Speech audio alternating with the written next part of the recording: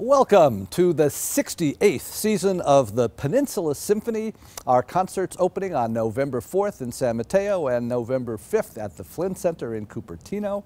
And for an orchestra that's been around for such a long time, we're very invigorated and excited about the freshness, the innovation of the concerts that we're going to be offering this year. I'm going to tell you about our November concert in detail in several segments uh, today, but um, let me outline the rest of the season as well. In January, we have the fabulous St. Michael Trio playing music that's primarily blues and jazz in wonderful personal arrangements.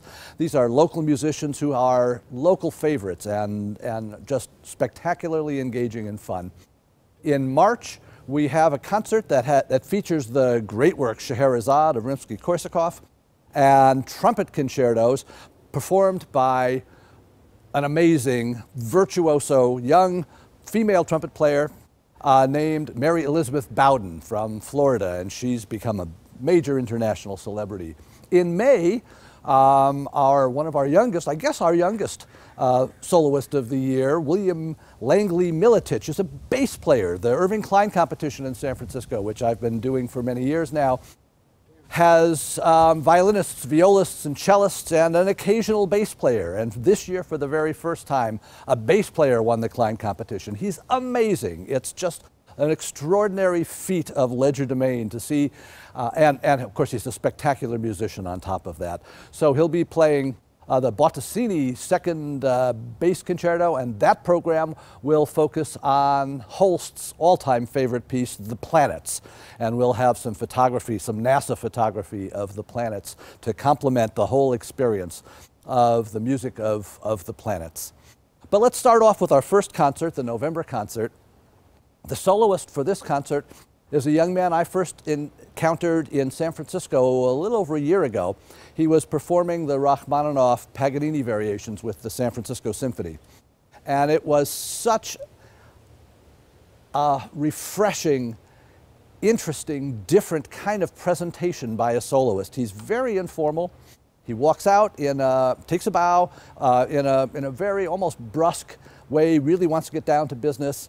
Um, but his face his body expresses the music in, in a, a just fantastic way. Conrad Tao um, was, for eight consecutive years, the ASCAP Composer of the Year. Um, so he's a composer. He was a star violinist. He's a writer. Um, and, of course, he's a pianist. He's won all kinds of prizes. He's the uh, last year's Avery Fisher Career Grant winner. This is the over-encompassing award to the most promising musician in America in a given year, and he just, just recently won that. Um, he has performed all over the world uh, as a composer. He was, for the last couple of years, the composer in residence for the esteemed Dallas Symphony, and he wrote a piece for the commemoration of the 50th anniversary of John Kennedy's assassination for the Dallas Symphony, the great event in the history of Dallas, and it was a landmark event for both the orchestra and the city. Um, this young man, after all of these accomplishments, after all the things that he's done, and the stunning persona that he brings to the stage, has just turned 22 years of age. And he is going to be so much fun to work with, so engaging for our audience that I think it'll be a, a truly marvelous experience. That first concert happens on November 4th and no, November 5th, and it starts off with a piece by a female composer, and this is another aspect of this year's innovative programming by the Peninsula Symphony. Each concert this year, each of our four subscription concerts, will feature music by a living female composer.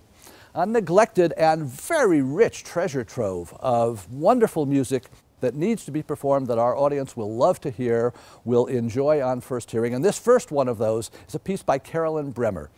We'll be performing this in the first week of November when the World Series is in full blast. And this is a piece that is all about baseball, actually. It's called Early Light.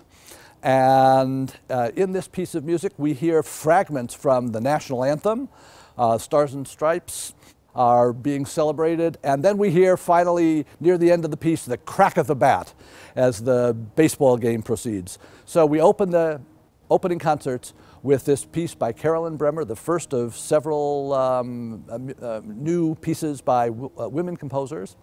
Um, and uh, the next piece on the program will feature Conrad Tao, this extraordinary young pianist. And we'll tell you more about that in the next segment. Don't please miss the first opening concerts, the November 4th at San Mateo Performing Arts Center and November 5th at Flint Center concerts that we invite you all to see and be a part of.